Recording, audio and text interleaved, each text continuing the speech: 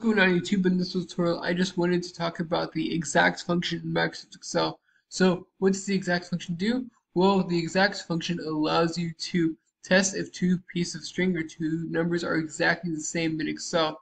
So to show you what I mean, how to use this function, you use it equals exact or parentheses and then the first argument is text one so or number one just today and then comma it, another today in close parentheses and as you can see returns true, these are the same, but one thing to note is that the exact function is case sensitive.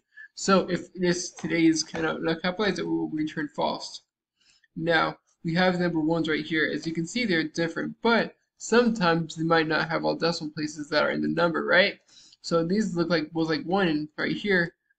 And as you can see, it returns false. Why? Well, as you saw a second ago, this is 1, this is 1.001, they're not the same number. Going down, 5 and 5, well, they're the same, which exactly returns true. Apple and apple returns true again because, you know, they're the same word and also it's case still case sensitive. So apple and apple return false if you the first A is in lowercase, not capital. A18, 818, 2023 return true. Again, Excel view states as numbers, so the exact function will return true, but what about the NA function? As you can see, they're both equals NA. They should do the exact same thing, right? Well, not according to the exact function, because the exact function does not work with error functions in Excel. Now, what are you thinking? Well, why would I use the exact function? Well, one of the key reasons is you're trying to run checks. So if you're trying to say like, hey, hey, hey, you know, is this total equals this total, exact equals exact, are they exactly the same? You can run a check with that and see if just make sure your stuff's all matching up. Also, you can you can use this to make your functions a bit cleaner. So to show you what I mean by that, it's an S exact function, if function. So if exact, you know, if the exact of that and that equals true,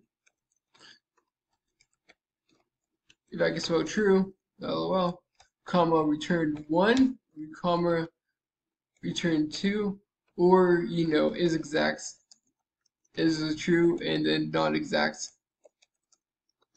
is a false, right?